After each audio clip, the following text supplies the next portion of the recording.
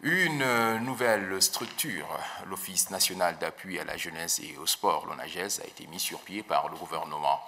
Les jeunes attendent beaucoup de cette institution qui remplace ainsi l'ONASPORT, le FONAGE et le FNDS.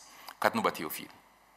Une nouvelle et unique institution, l'Office national d'appui à la jeunesse et au sport, ONAGES, pour soutenir accompagner les actions des jeunes en place et lieu des trois autres organes chargés de mettre en musique la politique du gouvernement en faveur de la jeunesse, notamment le Fonds national de développement du sport, FNDS, le Fonds national d'appui à la jeunesse, FONAGE, et l'Office national des sports, Sport. Trois institutions avec des missions bien définies qui devraient en principe faciliter la mise en œuvre de cette politique gouvernementale à travers la diversification des fonds alloués à la jeunesse et au sport.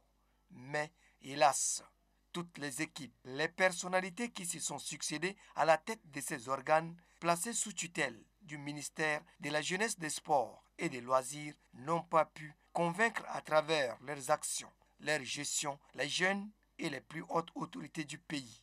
Conséquence, aucun stage de perfectionnement pour les sportifs et artistes, ni de bourses de formation, aucune salle de spectacle, ni un studio d'enregistrement, ni moins encore un complexe sportif pour les arts martiaux et les sports de main. Bref, une structure de loisirs dont disposent les jeunes du continent, voire ceux des pays voisins du pays de Toumaï. Avec la fusion de ces trois organes en une seule institution qui est l'Office national d'appui à la jeunesse et au sport. Les plus hautes autorités estiment qu'il vaut mieux centraliser les fonds alloués à la jeunesse, ce qui permettrait de mieux contrôler la gestion des dix fonds. Cela sous-entend que l'équipe chargée de diriger la nouvelle structure est appelée à gérer de manière rationnelle les fonds qui seront mis à sa disposition. Celle-ci est appelée également à faire la part des choses c'est-à-dire intervenir selon les besoins et surtout la nécessité afin d'offrir des cadres de détente, de loisirs et d'épanouissement aux jeunes. Autrement dit, réfléchir par deux fois avant d'agir. C'est donc une lourde responsabilité qui attend l'équipe de Oumar Abdallah Lebin.